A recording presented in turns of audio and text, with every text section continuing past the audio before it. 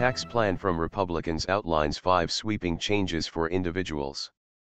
The tax plan proposal outlined by congressional Republicans would affect Americans across the board, with big changes for certain tax breaks and the outright elimination of others.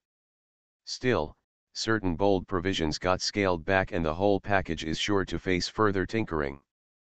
Fewer brackets, lower rates. The GOP plan envisions reducing the current seven tax brackets for individuals to the following 12%, 25%, 35%, and 39.6%.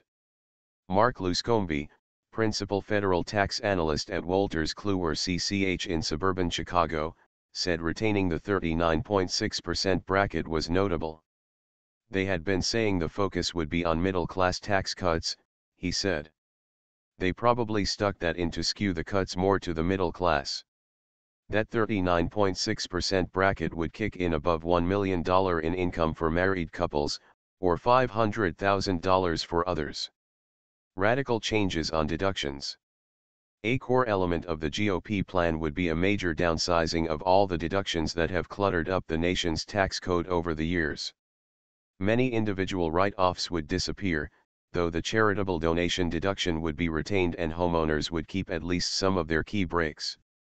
Deductions that would be eliminated include those for state and local income taxes, casualty losses, and medical expenses, though current law allows medical write-offs only above 10% of income, with a lower threshold for seniors. Also, the plan would scrap the personal exemption.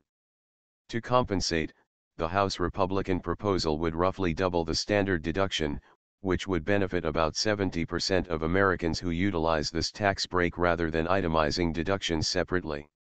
The new standard deduction would jump to $12,000 from $6,350 for single taxpayers, with a rise to $24,000 from $12,700 for married couples filing jointly. Housing the two key housing write-offs those affecting mortgage interest and property taxes would change for some people. Existing homeowners still would be able to deduct their mortgage interest, as is currently the case. But buyers of homes in the future would be limited to deducting interest on up to $500,000 in debt. That's down from a current cap of $1 million, Luscombe noted. The property tax deduction is another key item, especially in states like New Jersey and Illinois, where rates are high, and those like California where seven-figure home values are common. Under the proposal, homeowners would be able to deduct up to $10,000 a year in state and local property taxes. The proposal also would curtail Americans' ability to avoid taxes on housing capital gains. Currently, people can skirt taxes on up to $250,000 of gains, singles, or $500,000 of gains, married couples, if they both own and use a residence for at least two of the prior five years. The new plan would require homeowners to own and use a personal residence for five of the previous eight years. Also, this break would phase out for singles earning above $250,000 and couples making in excess of $500,000. Credits expanded. Unlike deductions, which reduce the amount of income on which taxes are owed, credits are direct reductions in taxes themselves. The House GOP plan establishes a new family credit, which includes expanding the child tax credit, to $1,600 from $1,000. It also would provide a credit of $300 for each parent and non-child dependent. The proposal also would preserve the existing credit for child and dependent care. This tax break assists families in the case for children and older dependents such as disabled grandparents. It also retains the Earned Income Tax Credit, a popular break for low-income individuals. Relief for the wealthy.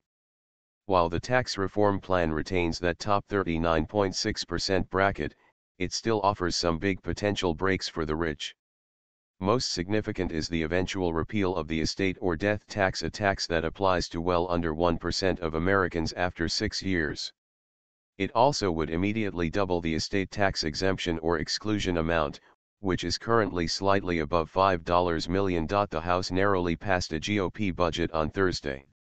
Speaker Paul Ryan expressed enthusiasm, while Minority Leader Nancy Pelosi said it was drawing a line in the sand between the middle class and extremely wealthy. October 26, AP. Also, the bill would repeal the alternative minimum tax, a parallel tax structure designed to ensure that nobody can use so many exemptions, deductions, credits and the like to avoid paying taxes.